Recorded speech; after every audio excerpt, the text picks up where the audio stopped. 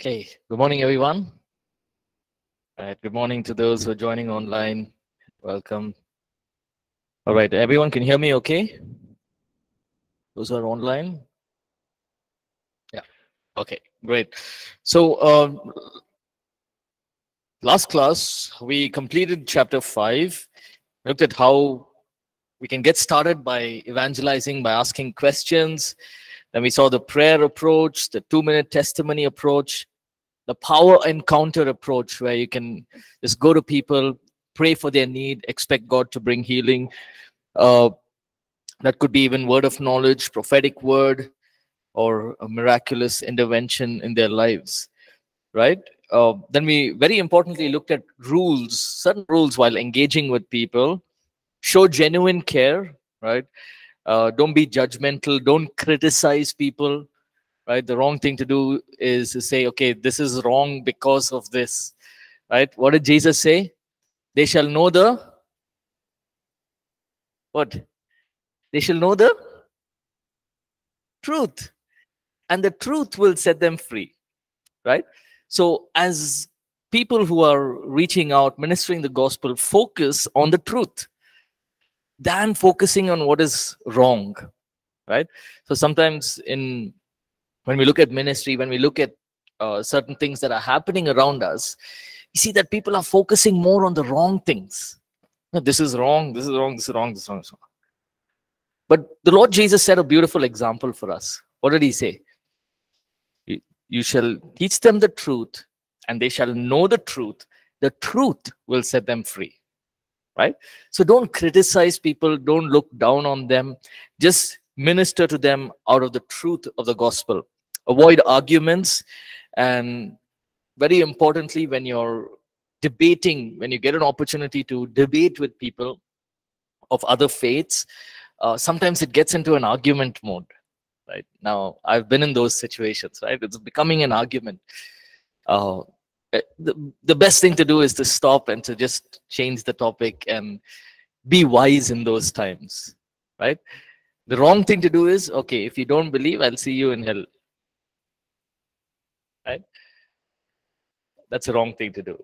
Uh, but it, when, when it's getting into a debate when getting in an argument just step out right? Be wise. And then don't let other people's negative response bring you down right? Now this is uh, you know anything. People can tell you hey you don't know how to do this. So what is your response? Yeah i don't know. So let me learn it right? It shouldn't be oh i don't know okay then that's my story. No right? So people will accept people will reject people will mock you but that that should not stop you from ministering the gospel, right? And then, uh, I mean, when we look now, you know, we have so much of tools, right? I remember when I used to go out when I was young boy, we only had those tracts, you know, I couldn't take out my phone and say, okay, you know what, you see this, this is what it is, and there are pictures and some verses. But now there's so much, know, there's content on YouTube. There are, I remember seeing this, somebody sent me a picture of this uh, you know, one day I was feeling very tired, right? Uh, this happened just a couple of weeks back. Somebody sent me a picture of this shepherd looking after the sheep, and it said, The Lord is my shepherd, I shall not want. That's all, right? Now I've read that verse maybe thousands of times, but at that moment, it just gave me such an encouragement, right? So I didn't feel like opening the Bible and reading that time, but just a small picture and the graphics right? So you got so many tools apps and when you go online there's so much uh, that we can learn right? So make use of those and uh, even as you evangelize uh, let it become a fruitful evangelism right? Now doesn't mean that okay if nobody's accepted the gospel is not fruitful right? If if you've shared the gospel no i'm sure you all are going uh, to few colleges just because somebody does not accept your message doesn't mean it was not fruitful. Right? Remember that you are getting trained. You're getting, you are growing into maturity. You're growing into something that God wants you to be.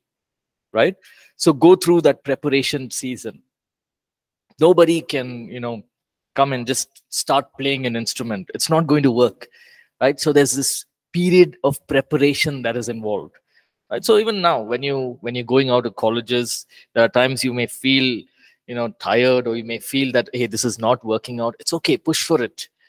Right? Because later on you'll see, you'll look back and you'll say oh uh, you know what? I did it in college. And i feel that you know this is something has really helped me to do what i'm doing now. Right? So don't be discouraged when people don't accept. Right? Just continue to do what god has called you to do. Okay let's get into chapter 6 chapter 6 we're talking about invite and prayer. Now let's read that whole passage. John chapter 1 35 to 51 it's a it's it's a beautiful example here. The lord jesus has launched his ministry right? And what does he do? The first thing he does is he finds people to join his team right? That's the first thing he does. Jesus doesn't say okay i am come now i will do everything no so let's read that passage and we see how the Lord Jesus chose the first few disciples among the 12. Let's read. Maybe one of us can read. John chapter 1, 35 to 51.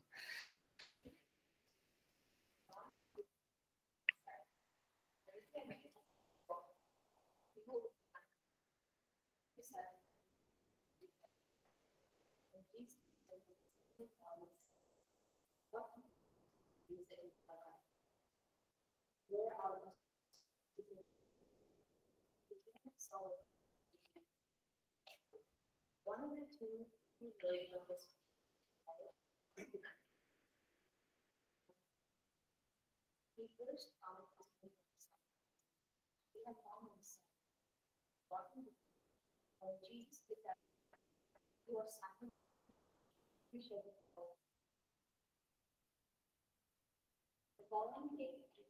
yeah yeah yeah that's verse 40 42 right Okay, let's just stop there. Okay, so we see this encounter.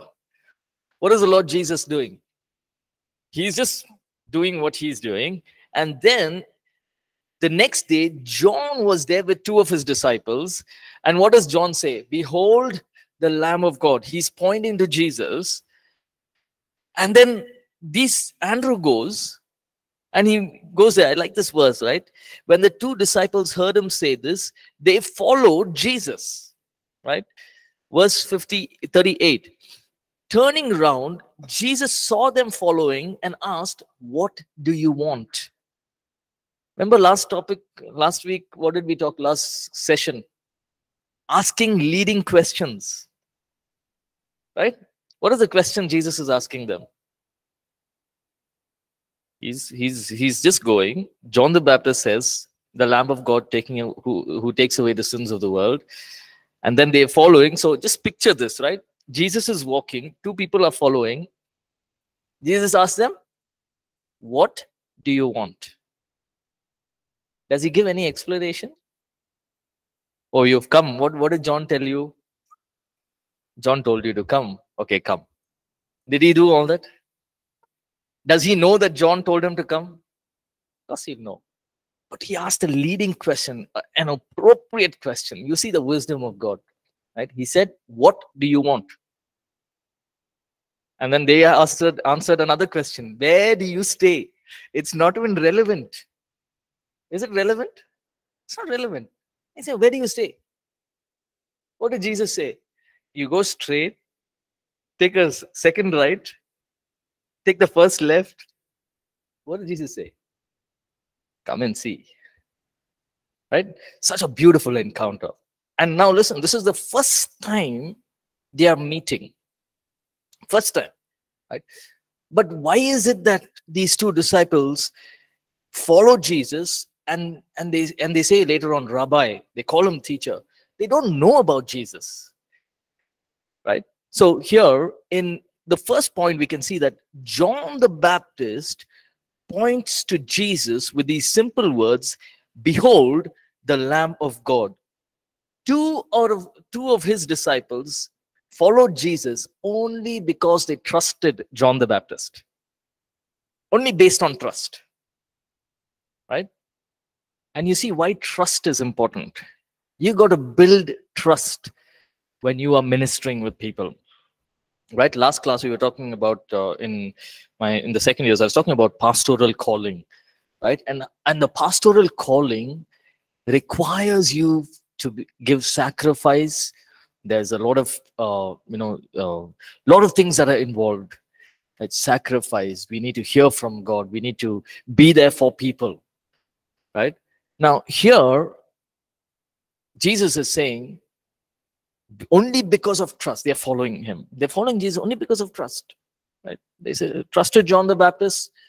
John the baptist said so they, they're following me. Now when you and i make commitments right learn to follow those commitments.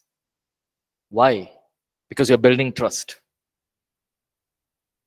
Right? You know trust is something that is easily broken yes. You, you trust people and then you you give them opportunities and if it's not done what happens? Trust is broken right? But here john the baptist says behold the lamb of god. They trusted john the baptist. That means what? John the baptist was somebody who cared for his people for the disciples that were under him right? It was not like okay you want to come come. You don't want to come don't come. No. As a leader he cared for his people he built trust. Now you look at any relationship, husband, wife, father, mother, parents and children, any relationship, there has to be trust. Right? And when you build trust, it's a place where you can speak into people's lives. Right? I remember growing up, you know, I would do everything wrong. Everything wrong. But my parents would still trust me. I'll say I'm going here, but they know I'm not going there. But they'll say, okay, go. There came a time when I knew that I, I'm lying. I knew that they knew that I was lying. And so I went and told them, you know, no, I'm doing something. Why aren't you stopping me? I said, because I want you to trust me. That's what my dad told me. I want you to trust me. I want you to have this feeling that you can tell me whatever you want and I will trust you. Whether it's good or bad, you tell me what is right. And that really impacted me. Right? And I remember that day from then on, I never lied to my dad. Never. Even if I was going to do something wrong, I would tell him the truth. So he would ask me, Did you do something wrong and come? I would say yes. Did you go out with your friends and do something wrong? I say, yes. But then he had the right to speak into my life. He would tell me, you know, you know, this is this is what it is. This is why you should, you know, focus on your studies for now. I, but I would listen to him. Why? Because there was this level of trust that we had built. Right. So trust is very important. Even as you each one of us, we put our trust in God, we are also called to put our trust on people, right? So you build that relationship, right? You build trust, right? Are you with me? Right? So simple trust. And the Lord Jesus welcomes them and reveals who he is. Andrew was one of them. Now, why is this significant?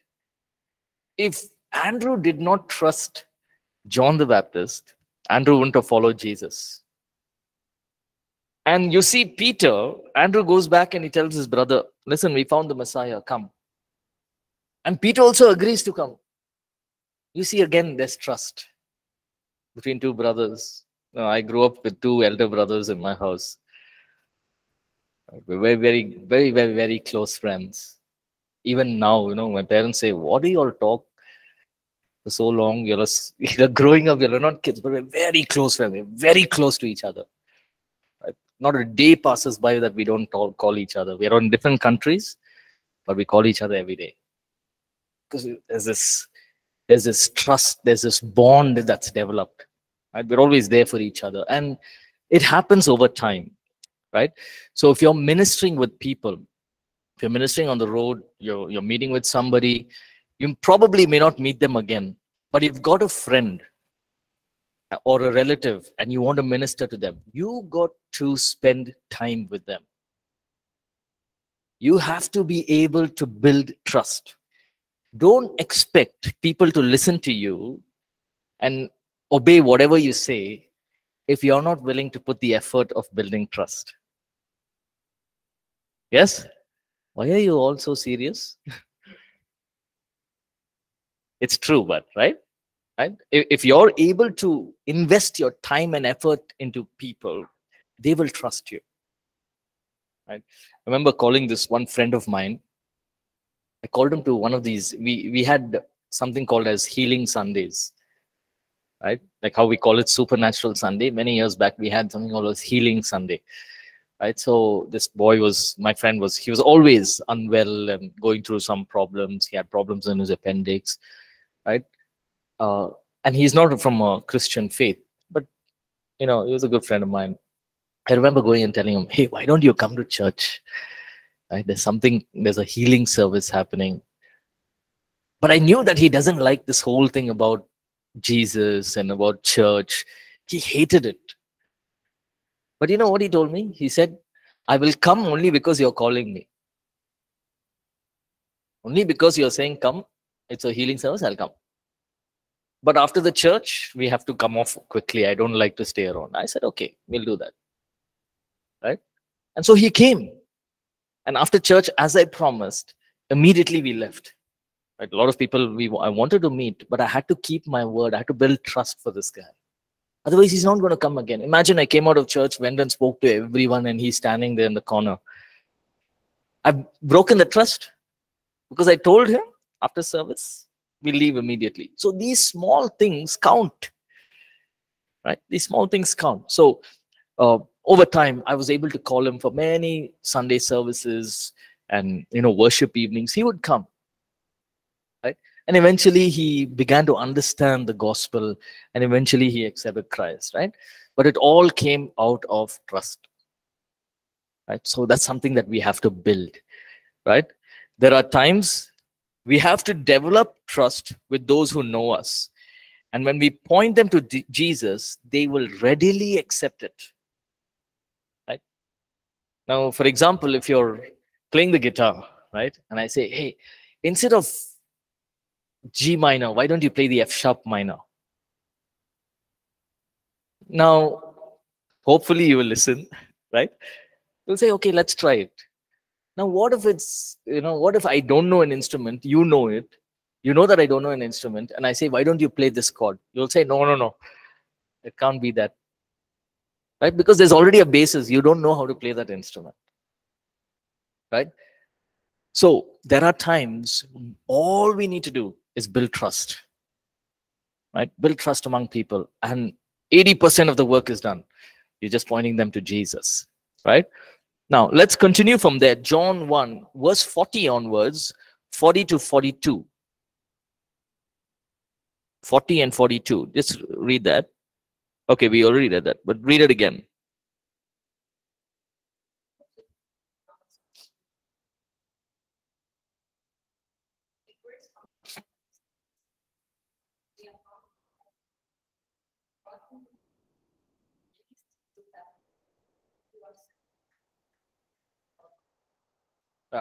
This talks about the power of a single invite. Here, what happens is Andrew's called Peter, and the Lord Jesus reveals his future to him. You shall be called Cephas, the rock. When does he say that next? When does Jesus say this next? This is the first encounter after the after the resurrection revelation. Okay. Right? So we see two encounters. Both the times jesus is giving it to peter. Right? Now who knew that this one encounter will change history? It changed history. Right? The reason we are talking about peter a fisherman in jerusalem was because andrew went and called him and came the reason we have the epistle of first and second Peter is because Andrew went and called his brother and came. That's the only reason. Do you think did it did we ever think of it? Did we ever think that this is going to be the impact of Peter's ministry? The only reason the church in Jerusalem started was because of Peter.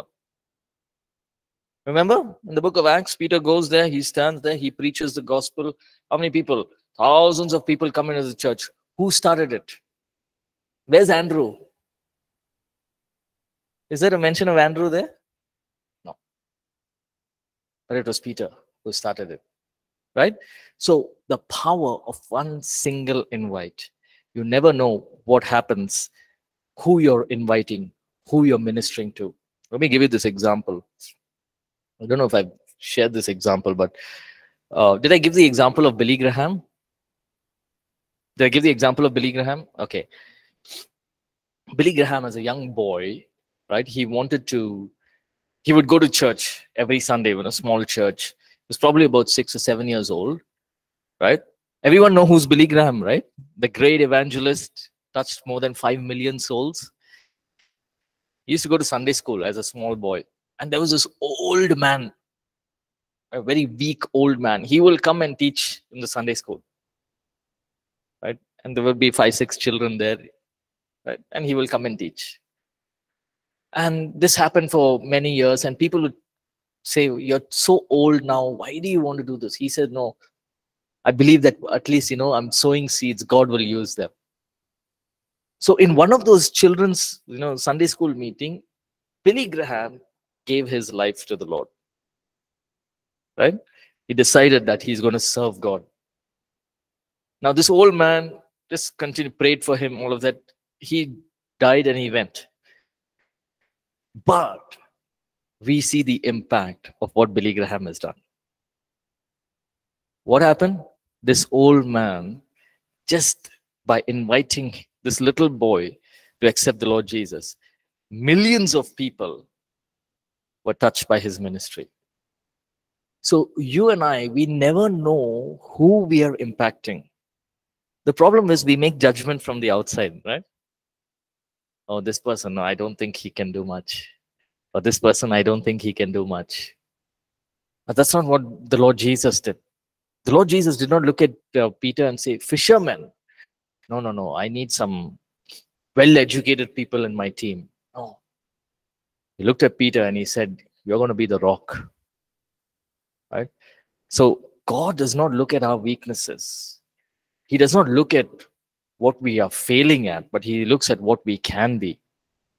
And that's the same attitude we must carry. When I look at people while ministering the gospel, I must look at them, hey, maybe this person one day can be a great songwriter or a great musician. Or maybe this person one day can be a great pastor or he can be a great evangelist, touching many lives. So, what you have done, you've done your part sown the seed, God is going to make it fruitful. Amen?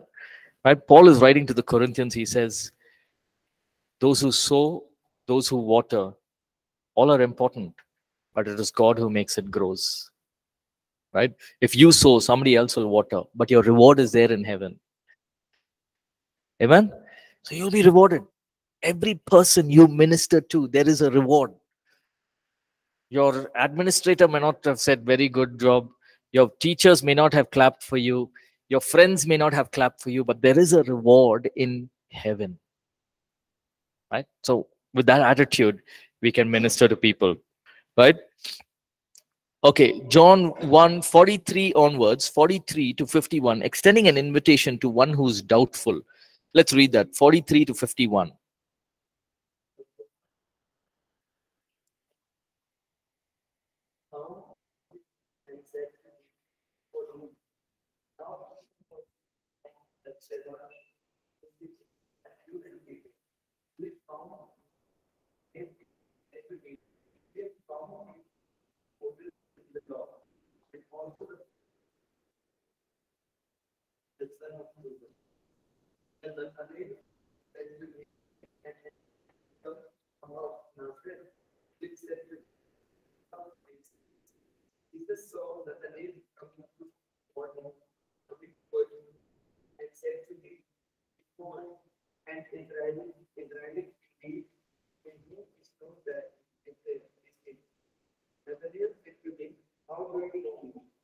answered and said to him, Before we called you, here you were under the tree I saw you. Nathanael answered and said to him, Rabbi, you are the Son of God, you are the King of Israel. Jesus answered and said to him, Because I said to you, I saw you under the fig tree, do you believe? You will see greater things than this. And he said to him, Most assuredly, I say to you, uh, are here that you shall see heaven open, and the angels of God ascending and descending upon the servant. Thank you, Vimal. Right. So we see another beautiful encounter here. Philip, he meets with Jesus. Again, same thing. He goes and finds his friend Nathaniel. And he says, Nathaniel, come. We found the Messiah. Now, Nathaniel, in the first case, Andrew found Peter. Peter was not skeptical, right? Simon Peter was not skeptical. He was not in doubt. He just said, okay, come, let's go. But here, Nathaniel is saying, can anything good come out of Nazareth? Uh, No, right? I don't think, what are you talking about, right? Now, here's the interesting thing Philip, he did not try to start a debate and try to convince him, right? He did not say, okay, you know what, he was like this, uh, he's tall, he has long hair, and then he spoke to Andrew, he spoke to Simon Peter, and then after that, uh, wherever he was going, John the Baptist also told, you know, he's the Messiah. So why don't you? There was no explanation. What did Philip say? Three words. What was it? Come and see. That's it. Three words. What did Jesus say? Come and see. Right? So you see, sometimes in evangelism, it's not only about speaking, but it's also speaking the right words, the right sentences. Right? That's where the wisdom of God lies. And now Nathaniel, he comes. Philip said, Come and see. See, what I saw, I'm telling you. But you come and see. You're doubtful. No, you come and see. And so Nathaniel came. And Jesus begins to reveal through word of knowledge about Nathaniel. I saw you under the fig tree. You were praying under the fig tree. You're a man in whom there is no deceit.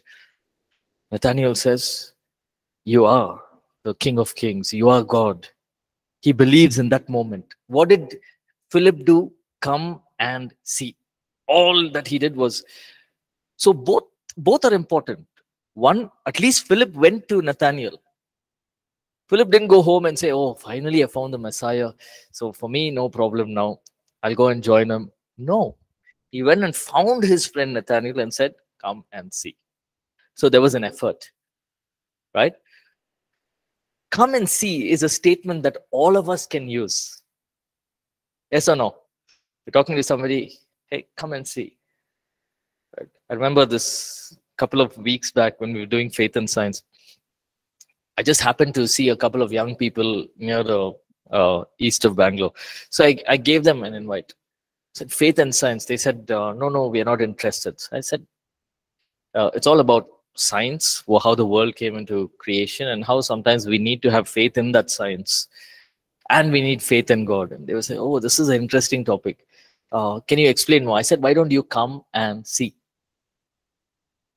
They came on Sunday right? All i said come and see. Because if i go to explain you know the earth was there the sun is here and then god you know in all his god you know he said it like this light came out from his if i explain all that they'll say okay. Right? I don't want to explain the six days of genesis and all on the road. All i said was come and see. Right? You know when i was in mangalore also many many times i, I met this one boy right? Uh, he he is a northeast boy in Kohima. So I went up to him. That time the church in Mangalore was about maybe 10 people, right? When I went. Um, I went up to this boy and I said, uh, Hey, are you a, a Christian? He said, Yes. Uh, he said, You know what? I've just come to Mangalore. I told him, See, I'm part of a church. Would you like to come? Uh, he said, Yeah, because I've just come to Mangalore. I don't know anyone. It's just a week now where is your church so i gave him the address everything uh, then he asked me what are your beliefs I said, see, all that will take some time. Why don't you come and see? So he came on Sunday, right? And after the Sunday service, I remember we were only 10 people in church. He said, Can I call my friends? I said, Yeah, you can call your friends. Next Sunday, he came with 10 friends. So from 10 people, our church went to 20 people. And those 10 friends started inviting other friends. And later on, I got to know that they were all from a different, um, like they were from the Baptist background. They didn't believe in the Holy Spirit. They didn't give, believe in the gifts of the Holy Spirit. Now, I didn't know that. I used to do all the gifts, right? I used to speak in tongues. I used to pray for healing, everything. I didn't know that. Right? I just ministered in freedom. But later on, they said, hey, now we know that there is a Holy Spirit and the Holy Spirit still works. We have seen it in our own eyes. Now, if I had gone and explained that day, you know, we believe in God the Father, the Son, the Holy Spirit. The Holy Spirit has nine gifts. You and I, as believers, if I'd explained the whole thing, I'm, he may not have come that Sunday. Right? So there's power in a single invite. Many a times we've had movie nights.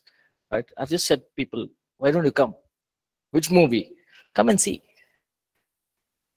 Right? I use the same word. Jesus said it, I also say it. Right? Which movie? The name of the movie is this. What's it about? You come and see. There's this one boy, we play the movie The Cross and the Switchblade. Right? It's about gangsters and drug addicts and how this young pastor goes to New York City and he begins to reach out, you know, begins to preach to these drug addicts and uh, you know uh, gang gang dealers. There's a book also called The Cross and the Switchblade. So I wanted to play that movie, and so these guys came and we put the movie. It's a powerful movie, right? But the first one hour of the movie is only you know fighting and gangs and drugs and all of that.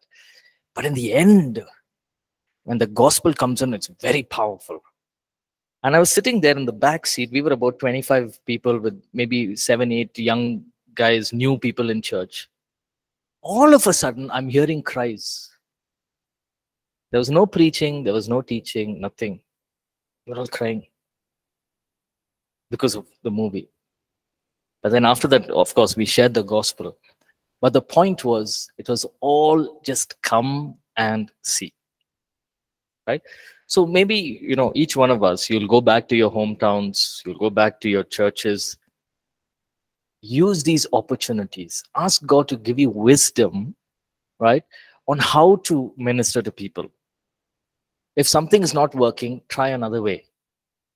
Don't say this is not working so i i'll better you know be the stage be on the stage only leading worship.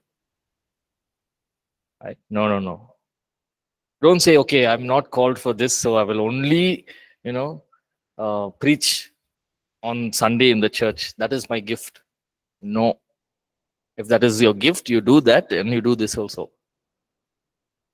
I can worship for three hours, good for you, but also go out and minister to people. But others can't worship for three hours. Good for them also. You don't we don't have to look at what others are doing and what others are not doing. We are doing what God has commissioned us to do. Go make disciples. Amen. Right? So next one, we already seen that realize the importance and the power of a single invitation. Okay here let, let's look at that. Think of various situations that people go through which provides an opportunity where you can invite them to explore jesus. One they're facing a challenge in life. They're asking questions about life meaning and purpose right? Or they are interested in learning and exploring. They are thankful or grateful for good things uh, they're and they're open to receiving prayer for some need right? So in, in i like to talk, talk about this right? They are asking questions about life meaning and purpose. In a day that we are living in now all of us around us have this question bro. What's the meaning of life? What is the purpose? Like, why am i living? What is this? What life is this? Right? There was a woman from a different faith who had come to church once. This is again in Mangalore. And she was crying and crying, and she was talking to us. She said, I lost my husband. I lost everything. And she was so sad and bitter. She tried everything possible. I realized at that time, me sharing the gospel is not going to work out right now. Right? I, I can't just say, okay, don't worry, Jesus will comfort you and give you peace. No. She's lost, she's grieving, she's lost her, her husband of many years whom she has loved. And now she's alone. She doesn't have anybody in her life. And her in-laws are treating her bad and all of this. So I can't just say, okay, don't worry, Jesus will make everything right. He will, but then it's not going to be so much of a effect in her life. So I remember telling her, why don't you come on Sundays? Instead of sitting at home and just crying and weeping, come here. Nobody's going to judge you. Nobody's going to ask you anything. Come sit and you go. So she said, okay, I'll come. So first couple of Sundays she came and she would finish service and she would go away. So nobody asked her questions. I told the church also, don't ask her any questions. Don't ask her where she's going, where she's coming, all of that. Just so she came. A couple of Sundays, three Sundays, one month. And then I noticed that she would stay back after church. She started talking to people in the church. Okay. I didn't say anything, huh? I didn't say, why don't you fellowship? Nothing. Then I started noticing she's giving tea to everyone. Started serving in the church. Then I'm seeing she's, you know, setting up the chairs, wiping the chairs. And, you know, many times she came up to me and said, if I leave this place, the church, I feel hurt. I feel broken. But when I'm in this place, right, there's something that is different here. I don't, I don't feel pain. I don't feel anything. Right? I feel the peace of God. Right? But we never shared the gospel, nothing. But this is what she said. Right? And then I was able to use this as an opportunity to minister to her. No asking questions, no asking why, you know, you have to believe in Jesus. Or, no. Right? So there, there are ways to handle people, right? So she was asking question about life. She was suicidal. She had no purpose in life. But now, right, she has purpose. She has meaning she feels okay god has called her for something and there's some kind of a joy that's there in our life so there will be people who are coming in walking into your churches into your ministries this way do not judge them or criticize them don't look at people and say hey you're not lifting your hand in worship what are you doing no right leave people as they are let them be as they are let the lord minister to them Right? Yeah, there are times when we have to share, we have to share our experience, but don't force or don't manipulate people. Right? Especially in ministry, especially when it comes to evangelism. Right? Then you can think of uh, events, you can think of small groups, movies, Sunday nights, Good Friday, Easter, Christmas, all of these Sundays that you can invite people and just say, come and see that's all they have to do. And they can experience the presence of God. Right? Think of various conversation starters. Right? What is conversation starters? What's the meaning of conversation starter? Now, if I'm meeting somebody, right? And I know this person is interested something, or you know, just just somebody uh, who I don't know as well. Have conversation starters, right? Hey, what do you like to do in your free time? they'll say i like to read so you say hey you know have you heard of this book right or they'll say i, I like to play music okay oh if, if you don't play an instrument you can say hey even i like this instrument. Maybe i also should learn. I'm thinking of learning. Right? Or they like to you know play football or anything. Right? Have conversation starters. Hey what did you do when you were young? Right? What, what was it? What did you do on sundays? Or we used to get up late, then go and play. And then, you know, in the evenings, we used to have family time. Now, if he ask me the question, I'm hoping they'll ask me the question on Sunday. On Sunday, we used to go to church in the morning. And then we would stay there the whole day, finish lunch, church. So you waste your whole Sunday in church. I said, yeah, it's not a waste, but this is what I do in church. Gives you an opportunity Right? What is it? Conversation starters. You're not talking about Jesus died on the cross, he rose again from the dead. Nothing. It's just conversation starters, simple points. Right?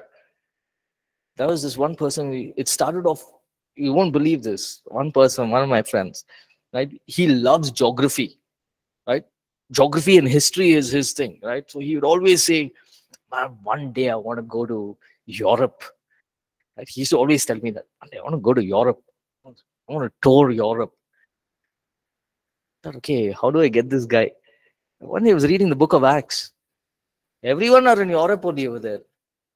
There's Greece there. So I said, so I remember I said, God, how do I cross to this guy? I said, hey, you wanted to go to Europe, no? You should go to Greece. You should go to Athens. You should go to Corinth. What is all these places? He asked. I said, You haven't heard of these places? So I said, Go get the Bible and come. No, I didn't do that. okay. I opened I opened Google and I said, Oh, and I purposely put Co- Co- Corinth. Right? And I said, see these structures. You know, I showed him pictures of Corinth. Beautiful place. They had these uh, huge stadiums where people will watch fights and all of it all history and geography. We spoke for more than two, three weeks, only history and geography. Right? I got him fully excited on that. Next thing, I said, Do you know what happened during those times? Brought in the gospel. Okay. So it was not about, uh, you know, Jesus was there, he did this. No. It was simple geography and history. Right? It just the gospel. So have conversation starters. Now, when you go on the street and you're evangelizing, don't just smile and take. Go, go, next. don't do that. Or sometimes I've seen, you know, they're giving like this, seeing somewhere else. Where are the cops? No, right? Why do I come? Talk to them, right? Don't get scared. Don't give the invite and say, okay, take fast and go fast. oh, you can do 100 like that, but do one which is fruitful, that's better. Yes or no? Right? So have conversation starters. And I remember I used to go, go to this these colleges and all. I used to sometimes stand there. I used to say, now what I'm talking, no, why I'm saying all this is because I've done it. It's not like I'm just saying because I want to say it. Right? It's the fourth or fifth year I'm teaching this. You know why? Because I've done it. I used to do a lot of uh, evangelism.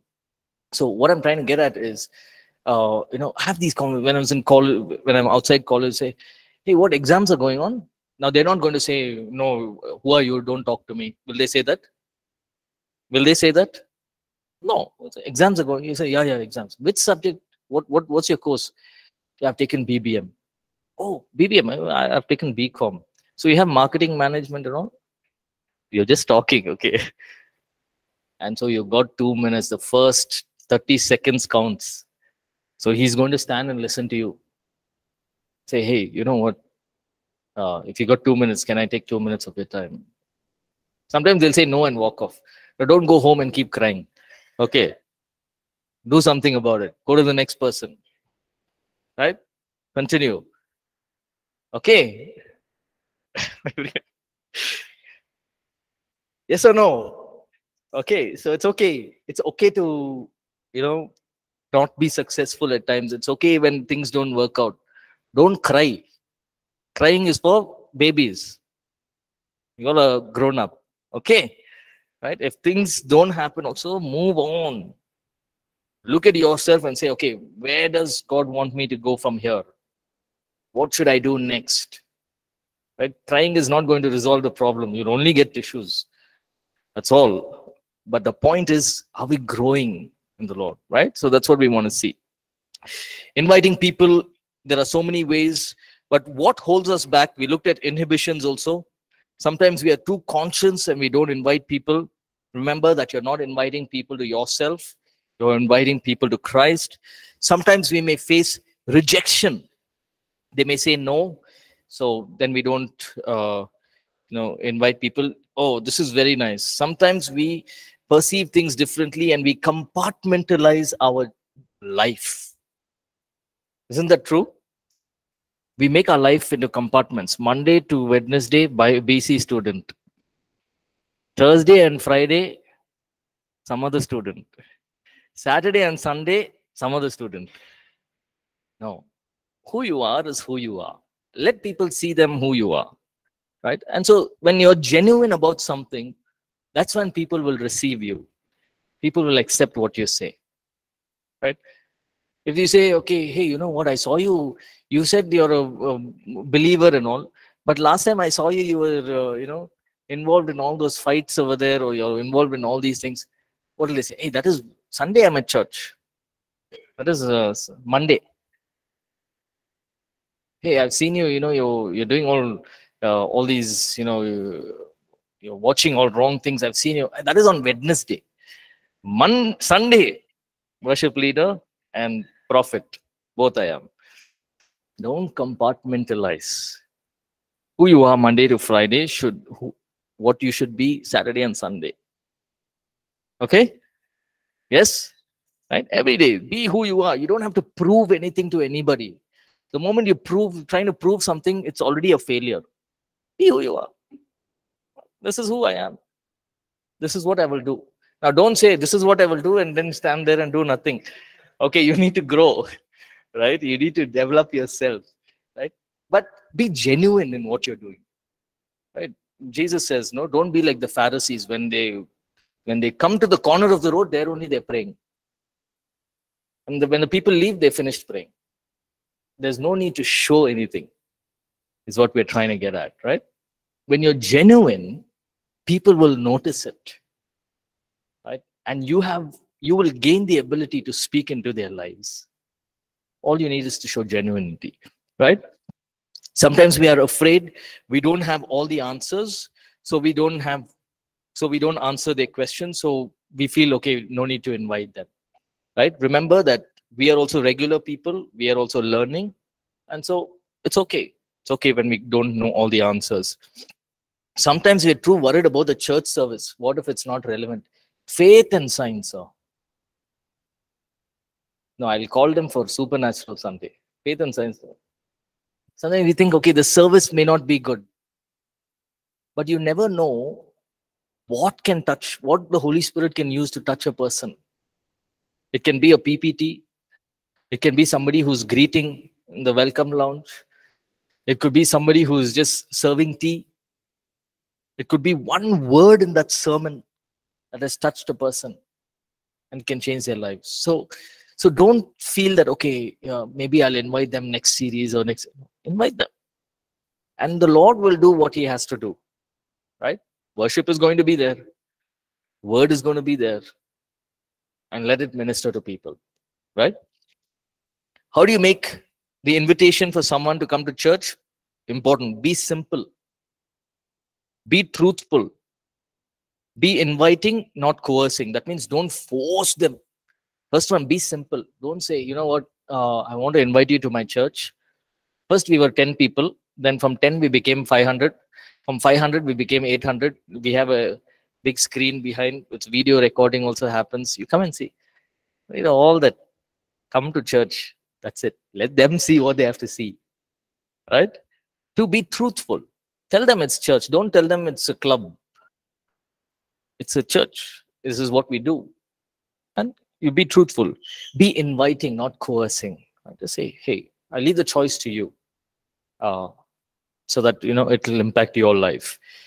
Make that invitation and uh, and explore Jesus to explore Jesus, and then you pray for them. Go back home and pray for them.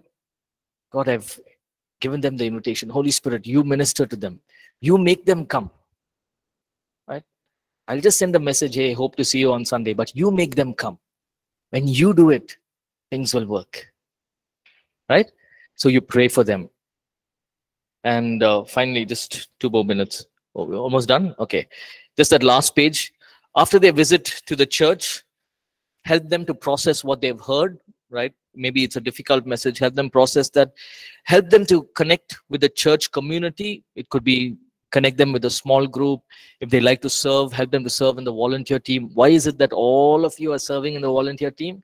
Not because, okay, you want to do it, because it's good to serve in the church, right? You're getting connected together. Uh, continue to invite them. And if they have made a decision for Jesus, then work with them on helping them grow in their faith, right? Teach them uh, foundations, worship, give them Bible verses, small things that can help them to grow. Is that okay? Right? So even this week, even as maybe some of you may be going, right? Try that out, right? Try to ask good questions, try to be relevant, and uh, go there prayerfully. God will definitely open doors and answer you. Right? Right. All right. Thank you so much. Those who are online, have a great week. I'll see you next week. Yeah. God bless you all.